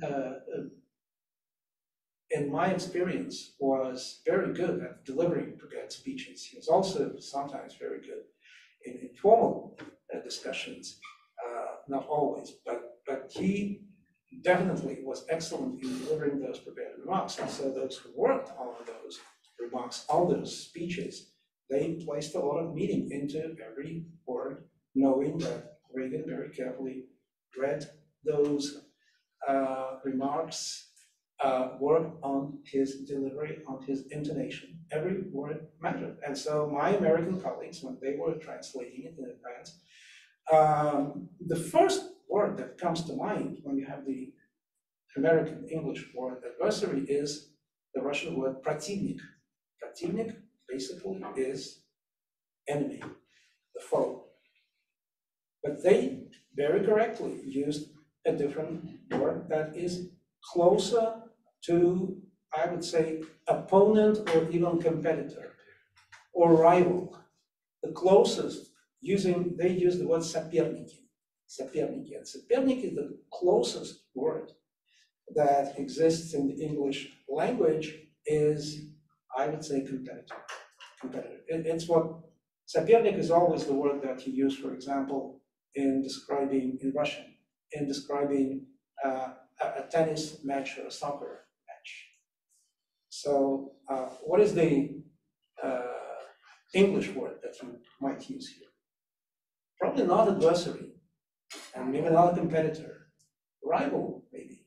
And so they used that word, and I think that was important because had they used the word противники, that would have probably given a very bad impression to Gorbachev and the Russian delegation, the Soviet delegation. Probably could have resulted in at least some communication problems. So a comma can matter too in, in political translation. Um, let me just mention, it's very important that when you take bilingual texts. You never talk about translation.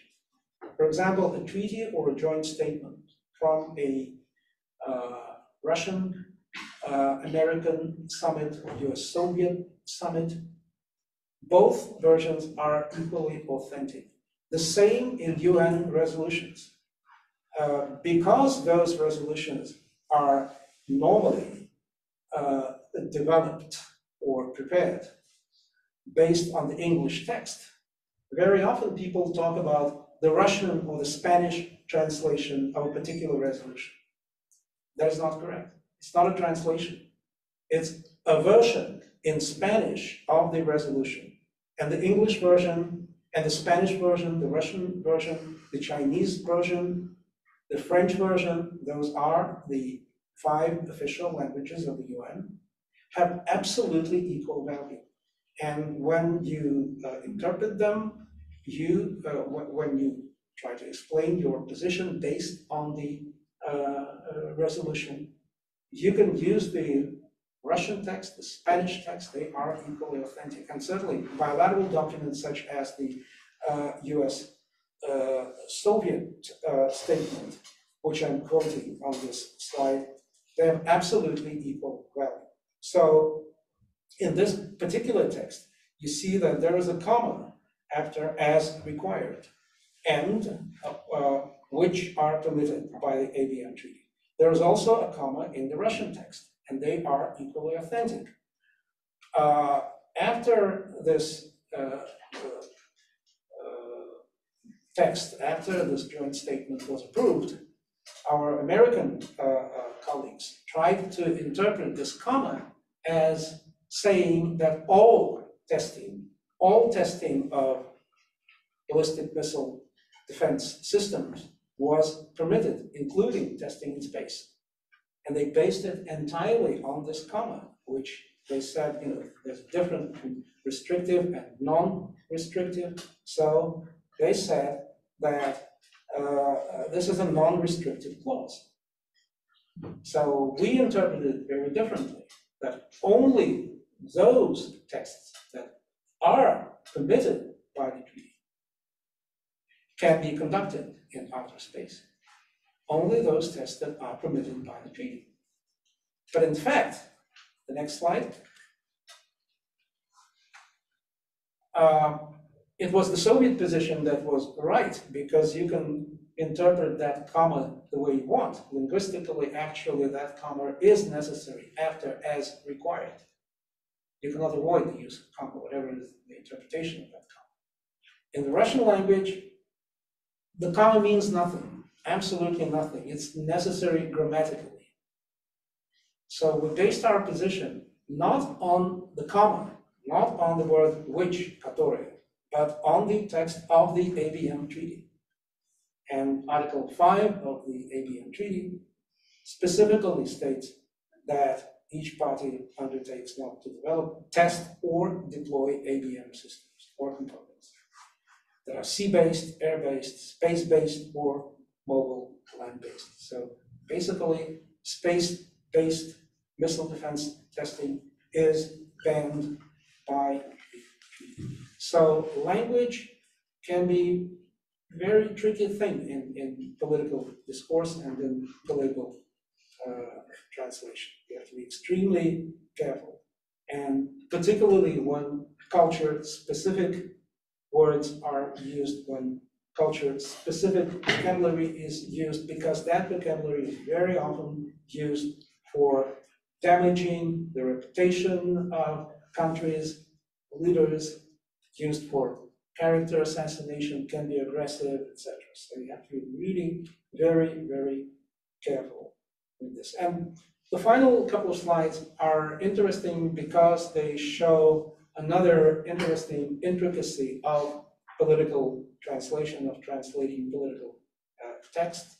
This is an example from the uh, translation of uh, a speech at the UN by Donald Trump in September 2017. It was translated amazingly, uh, interpreted simultaneously, amazingly on uh, Iranian TV. They uh, thought that it would be a good idea to give a simultaneous translation to Iranian uh, audiences. And so there was an Iranian interpreter, apparently a good one, and most of the speech he translated quite well. But this particular phrase, that Iran has turned a wealthy country with a rich history and culture into an economically depleted rogue state whose chief exports, exports are violence, bloodshed, and chaos. The translation, as we translated from the Farsi, in our opinion, the Iranians could live better. Very little, or I would say nothing, from the original remains in this quote-unquote translation. The next example, a very similar one. The entire world understands that the good people of Iran want change, and other than the vast military power of the United States. That Iran's people, it, it's Iran's people, there's a mistake here, slide anyway, that it's Iran's people uh, are what the leaders fear most. Well, the quote unquote translation was something like the US Army is a very strong army and the Iranian nation is a very strong nation. Well, some of the actual meaning remains, but very little. I'm sorry that I've departed from, uh, know, character assassination and the use of derogatory language, but these are, and, and there are some other examples from the translation of that speech. It shows how politics can intervene in, in uh, uh, translation. It's interesting that the interpreter, as I said, uh, characterized by uh, his colleagues as a good interpreter, he had to explain, and this is how he defended his uh, translation. He said, I did not translate those remarks because first, these remarks were untrue. It certainly is not the function of the interpreter to judge uh, whether something said by the speaker is true or not true. Second, they were against my country and they were against Iran. And finally, he said, I think it, if it was anybody else, they would have done the same. No, no. I, particularly when I worked at the UN in the height of the Cold War, you know, the Afghanistan uh, invasions, other things, uh, you know, I had to interpret uh, some remarks that were very much against my country at that time, the Soviet Union, and whether I agreed with it or not, you have to give a faithful interpretation of what was actually said. So uh, language intervenes in politics, and that was the first part of my uh, remarks today. And just to show you an example of how politics can intervene in language. And of course, this second part is something that for a professional translator is totally unacceptable. So uh, that's what I prepared. and- Before we jump to questions, first of all, uh, Yeah. give a warm, warm thank you for, for your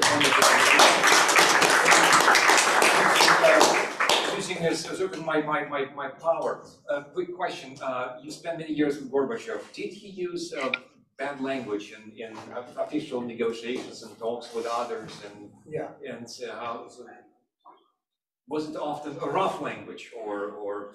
Not that I remember. Actually, he could be uh, a little rough when uh, there were internal discussions within the uh, Soviet delegation. And uh, obviously, particularly in the beginning of their dialogue, Gorbachev and Reagan often annoyed each other. Uh, Reagan began his first meeting with Mikhail Gorbachev by a diatribe against Marxism-Leninism. And it was not rough linguistically, but it was a real diatribe. And he said that, you know, Marxism-Leninism is the ideology that you espouse, and it has resulted in the deaths of millions of people on all continents, etc., etc. It was not rough linguistically, but it certainly, as Gorbachev mentioned to Reagan, he said, Mr. President, we have not come here to discuss ideologies. And that was a good way of, you know, kind of softening it. So he tended to, to soften. Sometimes he used uh, language that uh, was a little difficult to translate because he would sometimes use proverbs, he would sometimes use phrases that are uh, perhaps even specific to the part of Russia where he came from. Uh, but I, I don't recall, you know, using the really rough language. Uh, during the first summit in Geneva, uh, he uh, kind of prefaced his reply to one of Reagan's remarks by asking him, you know, people who know Russian will understand, uh, by asking him, господин президент, у вас есть лишние деньги? And- And this лишние деньги can be translated as money to spare. Mr. President, do you have money to spare? But it's a little rougher. And so I used, uh, uh, you know, against my own recommendation never to exaggerate, I used, Mr. President, do you have money to burn? Uh, The meaning of it was that if you have money to burn, and it's better than actually using money to spare. If you have money to burn, then go ahead and proceed with your missile defense plan, with the strategic defense initiative. But we don't have money to it.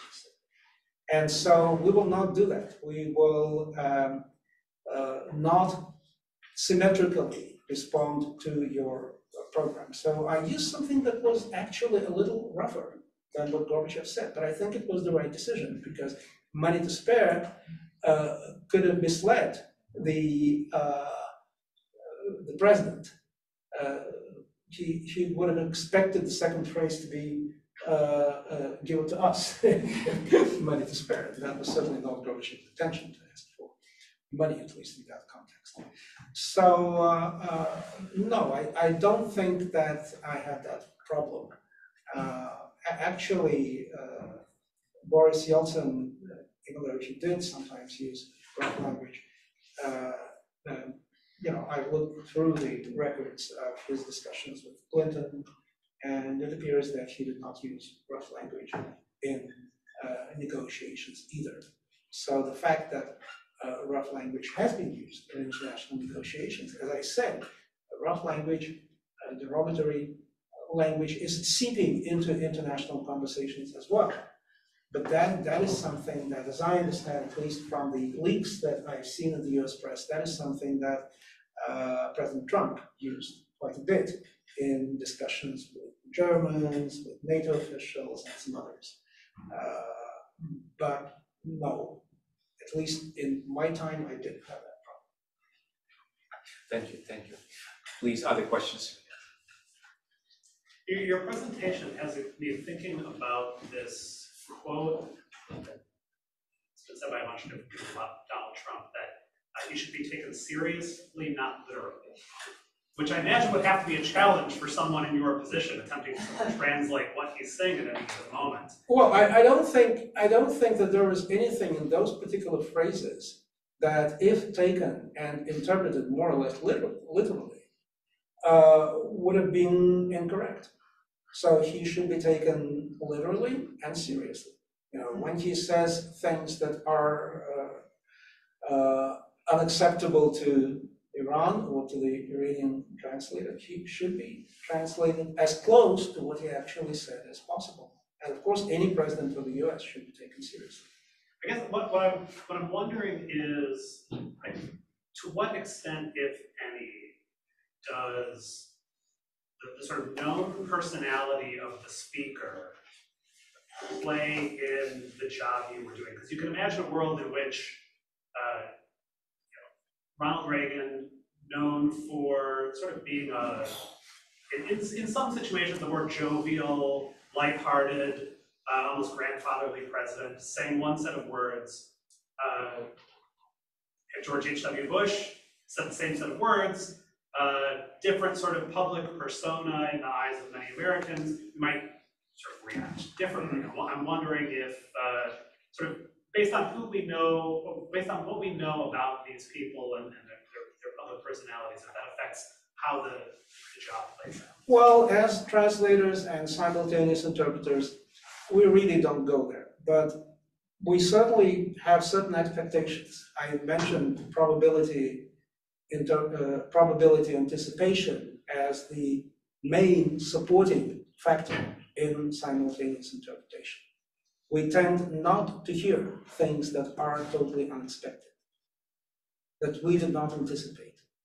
So definitely, uh, the interpreters, particularly those who are not translating from a prepared text, have to be ready that a certain president like Donald Trump could say things that could be either rough or uh, sound unexpected. You, you have to be prepared. You have to be. How, how you prepare? Well, basically, it, it happens in your mind. That that's the most difficult part of our profession.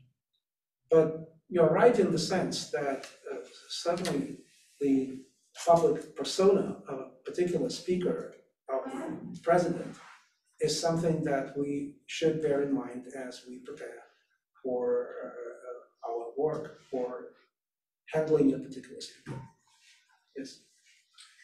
Um, uh, Ruby Young from Oxford. Um, a question about technology, if I may. Would you think that AI translation would make the problems that you were dealing with more significant or less significant?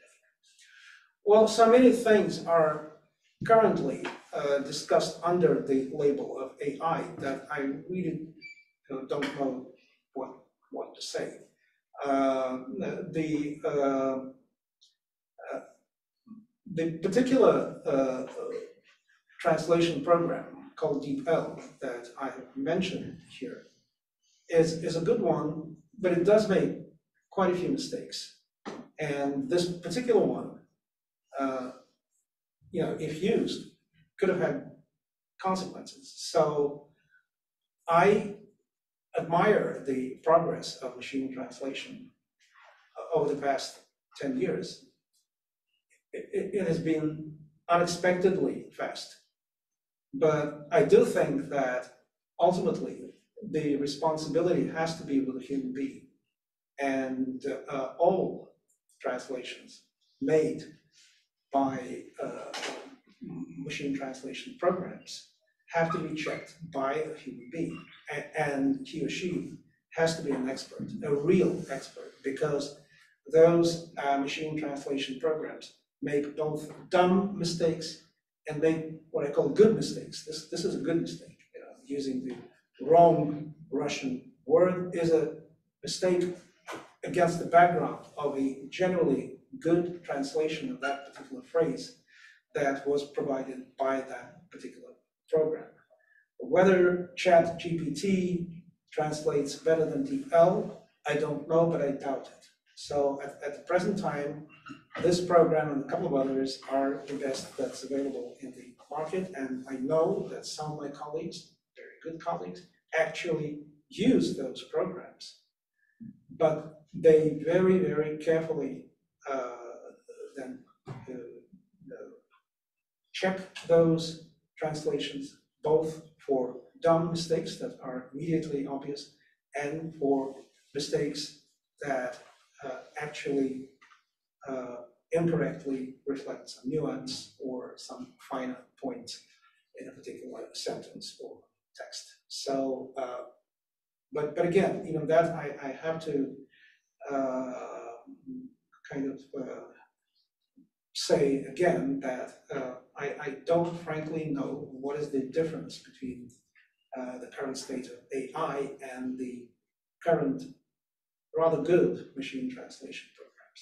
And again, I think that even if AI uh, makes greater progress than the current uh, programs, and, and there is a lot of work being done on the current programs, including Google Translate, including DeepL, but even those, even good programs do make stupid mistakes. As for final point, that will have to be checked, corrected by a linguist, by a human being for, I guess, at least a couple of decades to come, and maybe. I was more, I was more sort of thinking the other way around, really, which is that humans make a lot of mistakes. I mean, there's lots of Humans definitely make mistakes, yes, absolutely.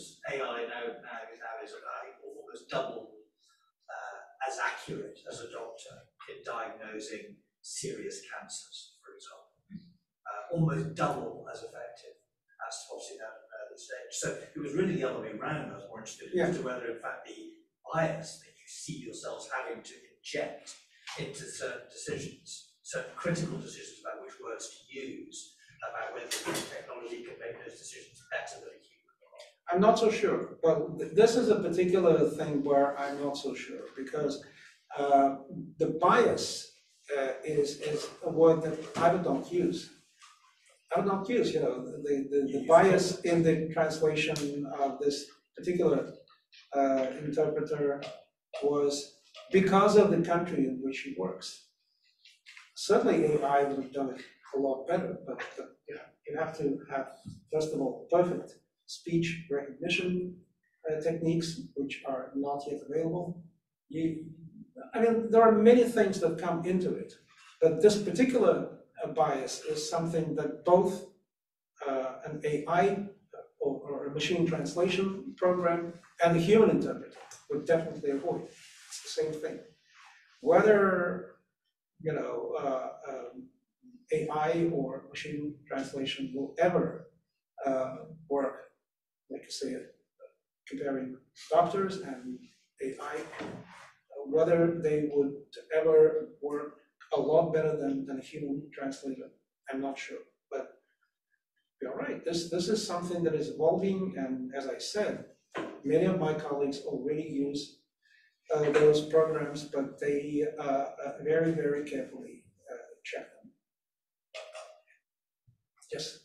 Um, we have a, a question from the chat, um, by uh, Brandon DeLuna, um, who says, uh, thanks for the interesting lecture regarding the impact of translation in character assassination. Um, I'm curious if there is an exploration on how curses or local colloquialism uh, were translated and communicated regarding a certain candidate.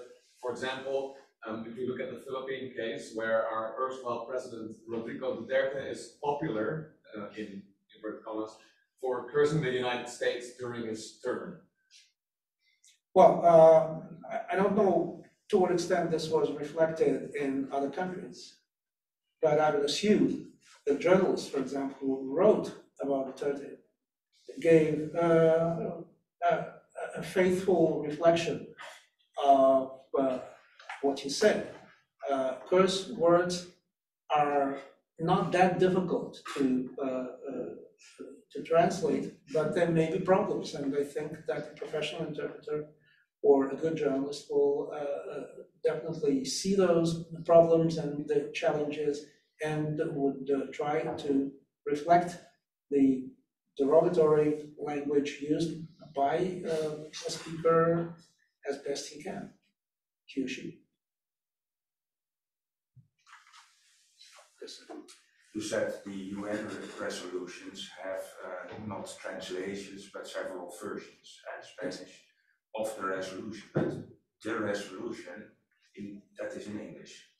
No, Also the resolution is in five languages, and diplomats in UN discussions are very careful when they mention other linguistic versions.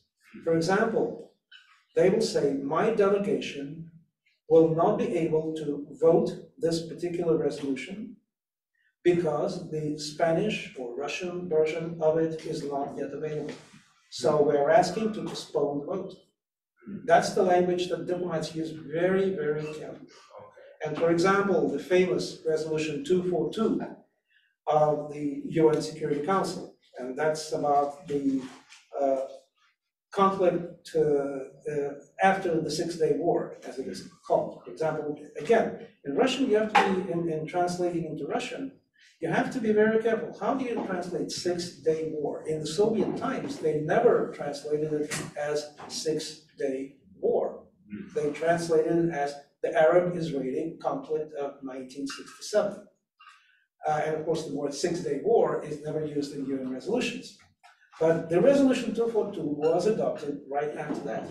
And it has that phrase, withdrawal of Israeli uh, troops from occupied territories. And the French version has uh, a definite article, des territoires occupés. Des means de les, and, and that's, les is equivalent of the. But there is no the in the uh, English version. And there's been an enormous amount of discussion based on the fact that there is no article the in the English version of the resolution. Well, in many languages, articles simply don't exist. An article le exists in the French version, and so the French version, des territoires occupés, could be interpreted as meaning from all occupied territories. Hmm. In English, the fact that there is no uh, uh, definite article has been interpreted as meaning that, well, there has to be withdrawal from some territories. But actually, both arguments are totally inappropriate. Because the does not mean all. The fact that there is no the in the English language means nothing because in the English version, sorry, in the English version means nothing because it's just one version of the resolution. The resolution has to be interpreted politically rather than linguistically. Mm-hmm. I gave an example from the joint US-Soviet statement, which our American uh, counterparts chose to interpret on the basis of a comma. Mm-hmm. A comma is a comma. You have to interpret it politically based on the ABM treaty to which the phrase refers. Mm-hmm. So very often, language or translations are used in order to make political points.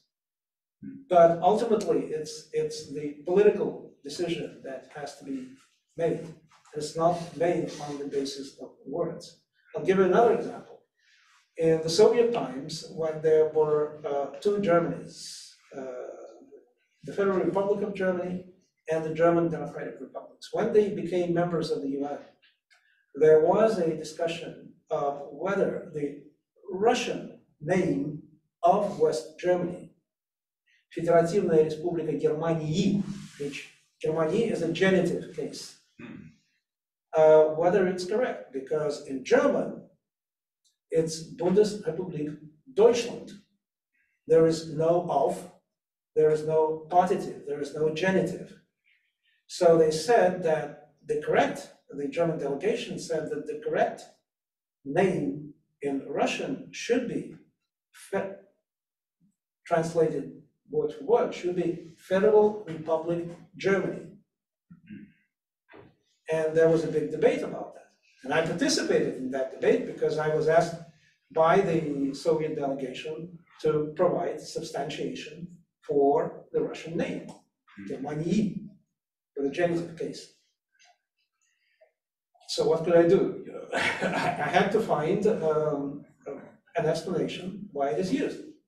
And I found a couple of arguments in favor. There were certainly arguments against as well. But ultimately, this was decided politically because Germany united. And, you know, as we all know, even before the Soviet Union broke up. And so there was no question, it's für Germania. And uh, actually, you know, even linguistically, you can make a case for both, uh, for both uh, ways. For example, in early Soviet times, in order to avoid that problem, they uh, translated the Federal Republic of Germany as German Federal Republic. And it was GFR in Russian. So plenty of things, but ultimately these things are decided politically, and one day where I hope there will be a solution to the Middle East crisis, all those discussions of Resolution 242 will be totally outdated. Because linguistically you make all kinds of arguments, but ultimately it's a political solution. Yes. We have about five minutes, but please just, yeah. Yes. Uh, this is kind of a broader question, not directly related to presentation, but um, in some ways, this kind of illiberal moment is a reaction to a certain kind of political language, like this kind of neutral, moderated, professional language of the elites.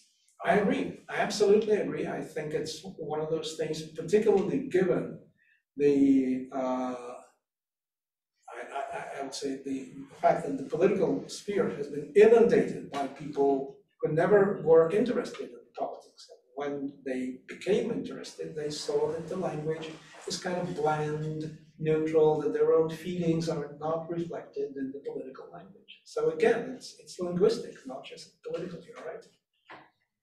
Yeah, well, I just. So what's your asked, question? Yeah. Yeah, well, I mean, what. you Whether I agree about- with you, yes, I absolutely Yeah, agree. but I mean, yeah, what are the kind of risks? Well, the risks We're the risks are, of course, tremendous both ways. If you neutralize it too much, then it's bland, it's something that people do not want, particularly the new people who have become interested in politics. On the other hand, there is, of course, a tremendous danger in the debasement of political language that we see today in many countries. So there are dangers both ways. And I, I think that, again, it all depends on the context. There will be periods in history of different countries when actually a more neutral political language will be required. But right now, politicians have to think about how to use less neutral language, but not to go too far. This may change. It's, it's not something that goes in a linear way in one direction. Question? Yes? Yeah, how would you define then neutrality in language. I mean, if we look at uh, Turkey or Türkiye now officially, Turkey has not been a problem until it was raised in Turkey that you should also in English use the Turkish spelling and pronunciation. Um, and then, then the problem was created over a fairly neutral name. And then, uh, well, my question would then be, uh, what, what is neutral? Turkey You, you wasn't. mean whether, whether, uh, Turkey Turkey, wasn't meant offensive until it was made offensive by Yeah, Turkey. right. Yeah, so. but it- it well, would be that's domestic, that's domestic politics. I think President Erdogan used it very effectively and for his own political purposes, that's domestic politics. Turkey never sounded uh, derogatory to me and to most users of the English language. He used it for his own political purposes. Uh, as you know, the United Nations has accepted it, and now, you know, the plaque with the name of the country, both in the UN Security Council when Turkey speaks and in the General Assembly is Türkiye. Uh, people, some people say that that was the, the wrong decision, that they kind of were led by the uh, Turkish president rather than taking their own decisions. Uh, But I think it, it was right in the sense that the UN is not imposing it on, let's say, newspapers, on uh, the media, they can call it Turkey or Türkiye. But in order to diffuse, to defend the issue at the UN, I think they took the right decision. So uh, obviously, you know, this is again an interesting nexus between language and politics, which is what my presentation was about. But, of course, subjectively, you can endorse what the UN did uh, or reject it. You can say Erdogan was smart to use it in this way, or you can say that this is political cynicism, you know, using something that is totally uh, inoffensive uh, in order to gain some additional popularity. Okay, yes? Talking about political gameplay and character assassination, uh, President Biden just called uh, President Xi Jinping uh, dictator, and this right on heels after his uh, latest visit from Blinken, which was meant as quite reconciliatory or turned out to be so. What's your take on that? Does that make Biden, according to your slides, a, a liberal um, leader? Or, you know, what do you think was behind there? What's Well, I, I never said, the no, no, no, I never said that, that person who uses a, uh word that is, uh, unaccepted, uh, unexpected, and perhaps unacceptable to many people. I never said that this automatically makes him illiberal, illiberal leader, no, I never said that. But also, of course, you know, Biden, as I understand, this was recorded and this was in an audience that was not supposed to uh, use the word publicly. He was, it was an- not an open event, it was an event with, where it is, with fundraisers, I think, or something, and it was not a presidential address. It was probably a mistake uh, to use it because it leaked out. But again, even if he used it publicly, I don't think that this would make him an illiberal leader. It's, it's not one or two uh, language, uh, one, one or two words that are used by a particular person, a particular leader that would make them illiberal. It's, it's the repetitive use of certain words that could be a sign of illiberalism, or could be just a sign of loose tongue. And um, I've watched Biden since nineteen uh, and there have been some problems called gaffes in the media. Uh, since then, I first came to the US in nineteen seventy-four, and he was a young senator. And uh, the media would sometimes use his gaffes against him that's been uh, more or less constant feature of, of, of him. But this one was not supposed to be public. So not as much, much meant strategic, but rather about No, I don't think that it, it is currently in his interest to use this word in a strategic way. Mr. Carlos will joke, maybe he forgot about, about this already. so. Yeah, yeah, could be. Well, uh, uh, uh, uh, our time is up unfortunately, and uh, uh, Pavel, thank you so much for your wonderful, insightful, uh, quite uh, presentation.